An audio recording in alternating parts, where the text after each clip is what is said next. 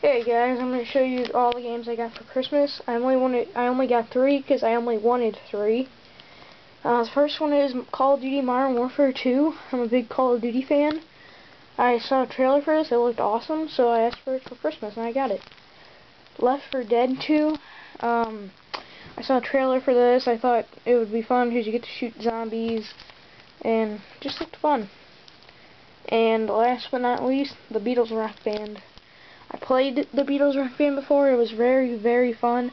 So I thought I'd ask for it for Christmas. Well, those are all the games I got for Christmas. I hope you enjoyed this video. Hope you got all the games you wanted for Christmas. And, well, see you later.